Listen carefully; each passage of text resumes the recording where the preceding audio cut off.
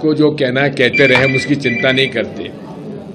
राहुल गांधी जी जिस उद्देश्य से निकले हैं, माननीय मुख्यमंत्री जी, उसमें आपको क्या आपत्ति है?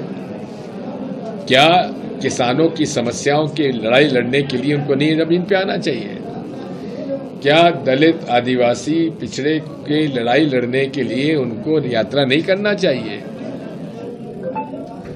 जो मजदूरों के साथ अन्याय हो रहा है, उसकी लड़ाई लड़ने के लिए क्या राहुल गांधी जी को यात्रा नहीं करना चाहिए? क्या इस देश में महँगाई, बेरोजगारी जो बढ़ती जा रही है, उसके खिलाफ उनको यात्रा नहीं करना चाहिए? आज मुद्दों की राजनीति कांग्रेस पार्टी करती है। हम धर्म के नाम पर लोगों को बांटते नहीं हैं।